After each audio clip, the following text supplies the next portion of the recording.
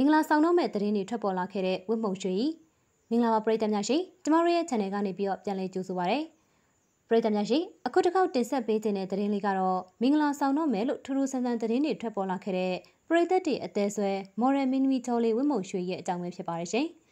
ပရိသတ်တွေကချစ်စနိုးတဲ့ကစ်ကစ်လို့ခေါ်ကြတဲ့ Minimi ချော်လေးဝတ်မုံရွှေကတော့အနုပညာတက်တန်း10နှစ်ကျော်လာခဲ့ပြီဖြစ်ပြီးတော့ကြားရဇယုတ်တိုင်းကိုလည်းပြပြပြပြတရုပ်ဆောင်နိုင်လို့ ပရိသတ်များစွာရဲ့အပိတ်ချစ်ခင်မှုကိုရရှိထားခဲ့တဲ့အမှုပညာရှင်တယောက်လည်းဖြစ်ပါတယ်။ကစ်ကစ်ဟာဆိုရင်တော့မြန်မာနိုင်ငံရဲ့အမှုပညာကြီးအမြင့်ဆုံးမင်းသမီးတွေကတအုပ်ဖြစ်ပြီးတော့အကယ်ဒမီဆုနှစ်ဆုကိုလည်းထိုက်ထိုက်တန်တန်ဆုခုရရှိထားခဲ့တာဖြစ်ပါတယ်။ကစ်ကစ်ကတရုတ်ဆောင်ဝတ်မှုရွှေကတော့တကုံတက္ကသိုလ်ကနေပွဲရရှိခဲ့တာဖြစ်ပြီးတော့2005ခုနှစ်လောက်မှာတော့အမှုပညာလောကတွေကိုစတင်ဝင်ရောက်လာခဲ့ပါတယ်။အဲ့နောက်အလှတက်ပုံတွေမဂဇင်းကြော်ညာတွေစိုက်ကွေးနဲ့အောင်မြင်မှုတွေကိုရရှိလာခဲ့တဲ့ဥမုံရွှေကတော့ အဲ့ဒီအချိန်တုန်းကစေတော်သက်လူငယ်ပရိသတ်တွေကြားမှာအရန်ကုန်မှာလှပတဲ့ဂျပန်မလေးတယောက်ဖြစ်တဲ့လူသိများကြော်ကြားလာခဲ့တာဖြစ်ပါတယ်။အဲ့ဒီနောက်မှာတော့နေတိုဆိုင်ဆိုင်ခန်းလိုက်အောင်ရန်လင်းတို့နဲ့ဇာကားများစွာရိုက်ကူးခဲ့ပြီးတော့နာမည်ကြီးအောင်မြင်လာခဲ့တာဖြစ်ပါတယ်။အခြေအနေနဲ့ပတ်သက်တဲ့ကောလာဟာလာသတင်းတွေကများစွာထွက်ပေါ်ခဲ့ပြီးမဲ့သူရဲ့အမှုပညာအလုပ်ပေါ်မှာအထီးအခိုက်မခံခဲ့တဲ့ဝတ်မုံရွှေကတော့ထက်ထက်မုံအနားယူသွားပြီးတဲ့နောက်မြန်မာပြည်ရဲ့ဒုတိယကျော်ညာဘရင်မှဖြစ်လာခဲ့ပါတယ်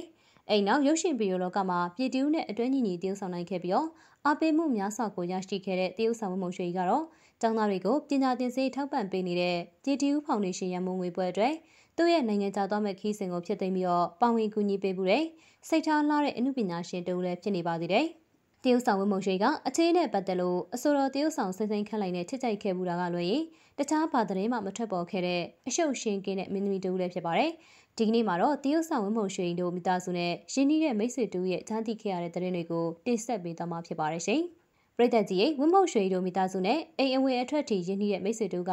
သူကစ်ကစ်တို့အိမ်ကိုရောက်သွားတော့ကစ်ကစ်ရဲ့မင်္ဂလာကိစ္စပြောဆိုတိုင်ပင်နေကြတာကိုကြားသိခဲ့ရပါတယ်တဲ့။ ဒါကတော့ဒီဝါကျွတ်လောက်မှလက်ထပ်ကြမယ်လို့ကြားတယ်။ကောင်းလေးကအနုပညာအတိုင်းဝိုင်းတွေကတော့မဟုတ်ဘူး။စီးပွားရေးလောကတွေကဝင်းမုံရွှေထဲအသက်ကြီးတယ်လို့လည်းပြောပါတယ်။စီးပွားရေးလောကတွေကဖြစ်လို့ပိုက်ဆံချမ်းသာမယ်လို့တော့ထင်တယ်။ဘယ်သူဘယ်ဝါလဲဆိုတာတော့တေချာတော့မသိခဲ့ရပါဘူး။နှစ်ဖက်မိဘတွေတော့သဘောတူထားကြပြီလို့ပြောတယ်။ကစ်ကစ်နဲ့အဲ့ဒီကောင်လေးကလည်းတငယ်ချင်းချစ်ကြိုက်နေခဲ့တာကြားပြီးဖြစ်ပြီးတော့တယောက်ကိုတယောက်လည်းအရန်ကိုကြွေးဆိုင်ကြတယ်လို့သူကြားသိခဲ့ရတာတွေကိုပြန်လည်မျှဝေပေးလာခဲ့တာပဲဖြစ်ပါတယ်။ ဟုတ်ကဲ့ပါပရိသတ်ကြီးရဲ့တရုတ်ဆောင်ဝမှုရှိကတော့အချင်းနဲ့ပတ်သက်ပြီးမင်းမြန်းလာခဲ့ရင်ရေးစားမထားသေးကြောင်းအချင်းနဲ့ပတ်သက်ပြီးတော့ကင်းချင်းကြောင်းတွေကိုမကြာခဏဆိုသလိုပဲသူမရဲ့အင်တာဗျူးတွေမှာပြောကြားခဲ့တာလည်းဖြစ်ပါတယ်။ဒါကြောင့်လည်းအခုလိုမျိုးသူမင်္ဂလာဆောင်တော့မယ်ဆိုတဲ့သတင်းကတကယ်လားကောလာဟာလာလားဆိုတာဝါကျွရင်သိရမှာမို့ဆက်ပြီးတော့စောင့်ကြည့်ပေးကြပါဦးနော်။ပြီးတော့ပရိသတ်ကြီးကလည်းတရုတ်ဆောင်ဝမှုရှိကိုအိမ်အောင်ပြုစေတင်ပြီလား။အပြိုကြီးဘွားနဲ့ပဲနေစေခြင်းသေးလားဆိုတာကိုလည်း comment ဖောင်လေးတွေမှာပြောသွားပေးခဲ့ကြပါဦးနော်